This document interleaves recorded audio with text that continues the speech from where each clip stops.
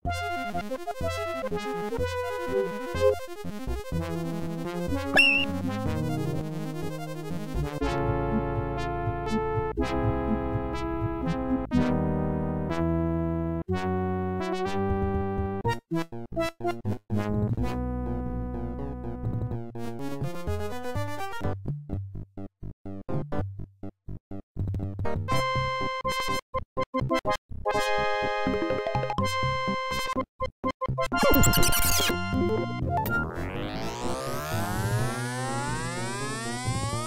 am Shelton, guardian of terror. Twice now you have defeated my test, thinking yourself worthy of invading my world. Walk carefully then through this third challenge, and take heed your final decision is truly what you desire. For the course of destiny cannot be turned once set in motion, until our next meeting, mortals. А, добрый день, дамы и господа, с вами Септ.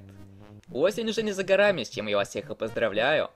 И на этой позитивной ноте я начинаю летсплей по игре Меч и Магия 3. Вспомним былое, с чего начиналась Меч и Магия, и что было до всеми любимых нами героев. Так с чего же мы начнем? Прежде всего назовем нашу новую игру, и немножко подождем, пока игра сделает для нас сейв.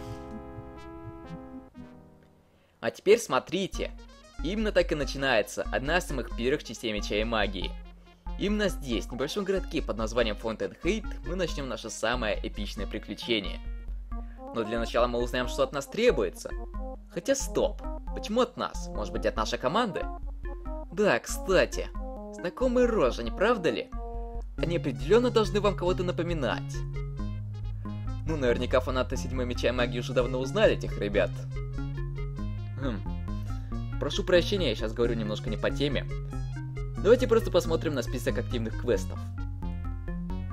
Жмем на эту кнопочку, и прямо на ваших экранах описание места, в котором мы сейчас находимся. Вкратце расскажу суть происходящего. В общем, на этот город напали гигантские крысы. Выходит, у них есть какой-то разум, я не понимаю. Так вот, эти крысы, помимо того, что навели на фонтаны порчу, из-за чего они теперь не работают, так еще захватили в плен стража города, и кому, кроме как не нам, придется спасать его шкуру? Хотя я немножко неправильно сказал, потому что это не более чем призрак. Ну тогда, наверное, его душу хотя бы. Вся неприятность состоит в том, что этого стража помимо обыкновенных крыс будет охранять еще и местный босс. Внешне абсолютно та же крыса. Но, разумеется, параметрами она будет отличаться от своих сородичей. А теперь быстренько посмотрим на наши параметры. Да, с такими параметрами нам явно не совладать с отрядом обычных крыс, что уж там о боссе-то говорить. Пожалуй, мне не помешала бы небольшая помощь. Давайте-ка мы зайдем в здание, которое находится прямо за нашей спиной. Это гостиница. Здесь мы наймем двух полезных ребят, которые помогут нам в самом начале игры. Лучник позволит нам выпустить еще одну стрелу, а друид поможет по части магии, у лучника, конечно же, есть своя магия, но по этой части он станет нам полезен ближе к середине игры. Качать мы его пока что не будем. А у друида, да, стоит раскачивать, потому что ему станет доступно больше полезных спелов. Свою команду создавать не буду.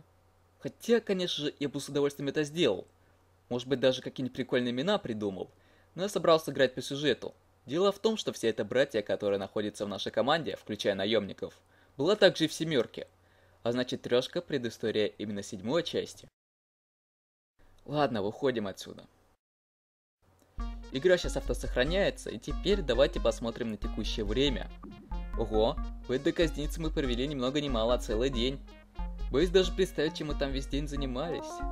Кстати, у меня возникла одна идейка. Здравствуйте, товарищ лучник. А дайте-ка нам взглянуть на ваши вещи. Спасибо, товарищ лучник. И до свидания. Всего хорошего. Вот таким нехитрым способом мы выжимаем из лучника всю его экипировку, а самое главное второй лук.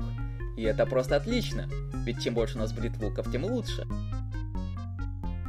Но к боссу идти пока что рано, нам нужно чуть получше подготовиться. Босс нас еще подождет, никуда он не денется.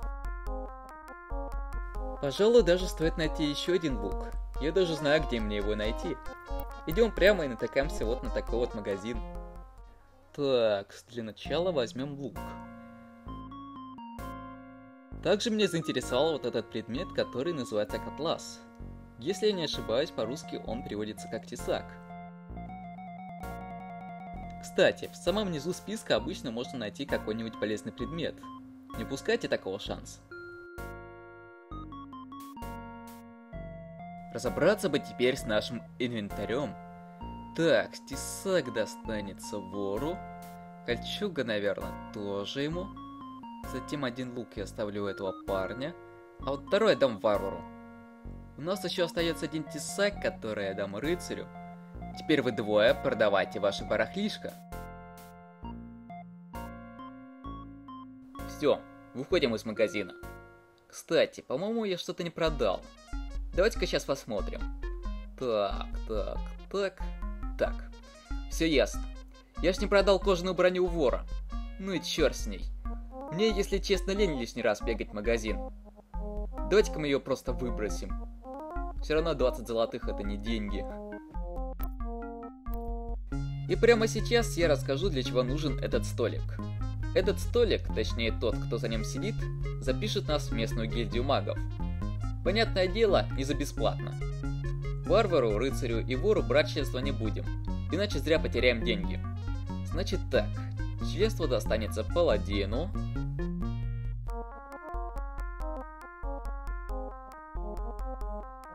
клирику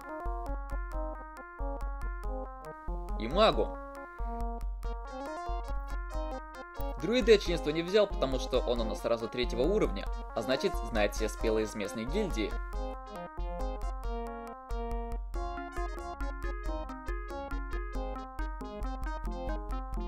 Может стоит уже начать наше приключение?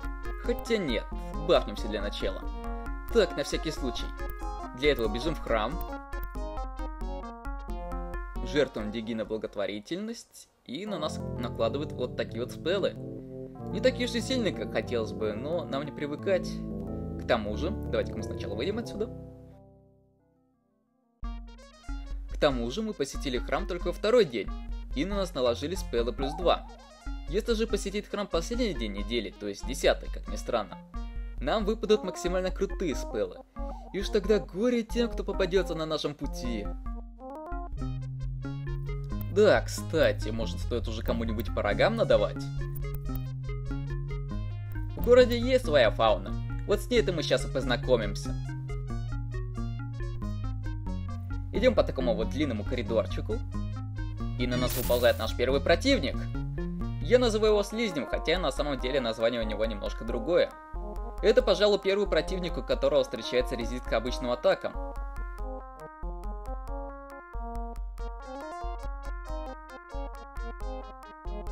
Наиболее вероятно, слизни боятся огня, поэтому сейчас мы зажарим одного из них.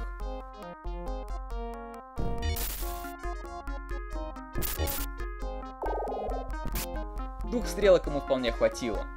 Идем дальше. Видим перед собой фонтан. Он, в отличие от остальных, работает. Кидаем в этот фонтанчик монетку.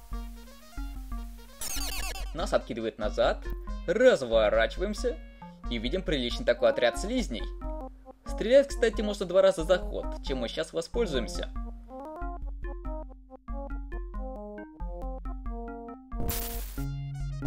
Один слизень уходит никуда, другого, наверное, тоже огнем зарядим. А теперь смотрите, как бьют наши воины. Раз, два, три. Я не убиваю только полудохлого слизня. Так, теперь клирик кидает кулак, все остальные жарят огнем. И все. Разобрались мы с этими супостатами. С грызунами нам будет туговато, поэтому качаться дальше мы уже будем за пределами города. Вот уже виднеются ворота.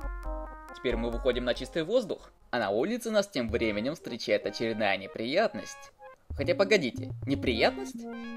Забудьте то, что я сказал.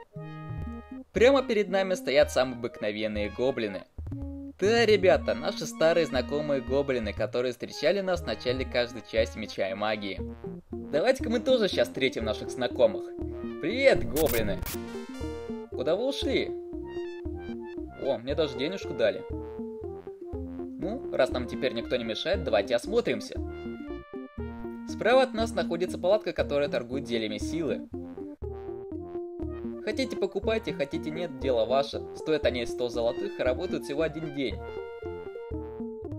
Теперь разворачиваемся, и мы видим очередную партию гоблинов. Привет, товарищи! Как вам мои стрелы? Да, гоблины не дураки, тоже умеют стрелять. Пожалуй, в следующий раз мы будем сражаться уже с ними в ближнем бою. Где они будут наименее опасны, так как действуют они позже наших воинов. Наверняка вы вдалеке уже заметили очередного противника. Это орк-воин. Как ни странно, орков-шаманов в этой игре не наблюдается, видать оплошность разработчиков. Эти орки – первые противники, которые могут вам реально вломить. И не только в ближнем, но и в стрелковом бою. А здесь мы видим огромную толпу гоблинов, которая охраняет свою тележку.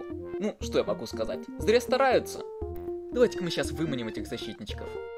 А вот теперь я даже не знаю, то ли выстрелить по ним, то ли в ближнем бою всех зарешать.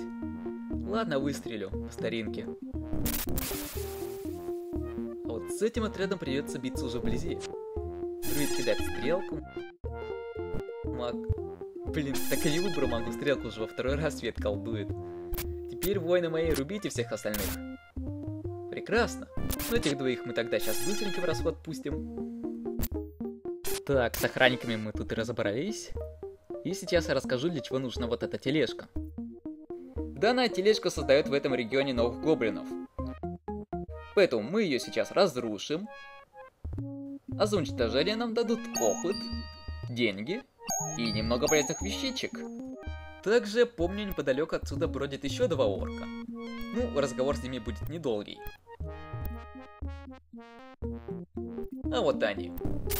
Приветствуем их градом наших стрел. Орки отвечают тем же. Какие вежливые эти орки, надо заметить. Они, конечно же, по нам попали, но ничего страшного не случилось. Все живы-здоровы, и это просто отлично. За деревьями можно заметить здание заброшенного храма очередного злого культа. Мы туда, наверное, ближе к десятому уровню пойдем, потому что нас там поджидают скелеты, зомби и еще один парень, который по сути будет там мини-боссом. Сейчас мы пойдем в горы и расправимся с остатком гоблинов в этом районе. Ау, моего мага нехило так ударили. Ну ничего страшного, зайдем в город залечим. На улице каждый ваш шаг стоит 10 минут, в то время как в городе или подземелье минуту. Вот мы замочили здесь всех гоблинов. Дальше в горы мы не пойдем, потому что нам нужно экономить наше время и успеть тренировочный зал, чтобы поднять там свои уровни. Надо бы залечить нашего мага, чтобы лишний раз не бегать в храм. Блин, случайно клирика вылечил. Ладно, раз у друида закончилась магия, тогда пускай лечит клирик. Да блин, Септ, хватит уже лечить этого клирика, мага давай. Отлично. Заходим. Тренируемся до третьего уровня.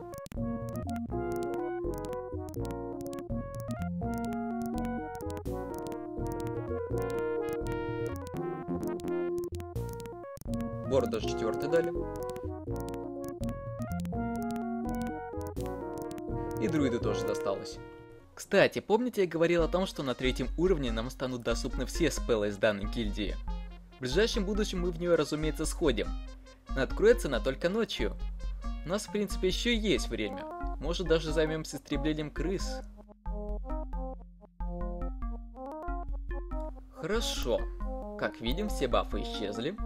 А значит, у нас появился повод сбегать в храм за новой порцией.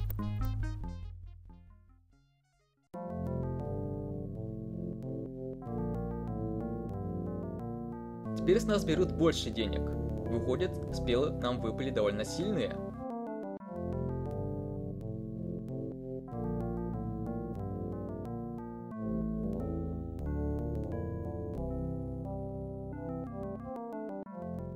Пришло время увидеть наших новых персонажей в действии. Я сейчас покажу вам один секрет. Помните то место, откуда мы начинали игру? Так вот, за соседней стенкой можно найти вот такую вот лампочку. Нам говорят, что данную стену можно разбить. Жмем на эту кнопочку, и на нас вылезают две здоровенные крысы. А теперь смотрите, как быстро мы с ними справимся. Тебе три удара. Тебе три удара. Всем три удара. Похоже, крысы хранили этот сундучок. Пускай его открывает. Находим в нем 900 золотых и броньку. Вообще в этой игре все сундуки и двери закрыты. Открывать их, как бы это печально ни звучало, могут только два класса – вор и ниндзя. Однако ниндзя скрывать все это дело немного хуже. Ладно, пожалуй на этом все. Всем спасибо за ваше время. С вами был Сэп. Всем пока и удачи!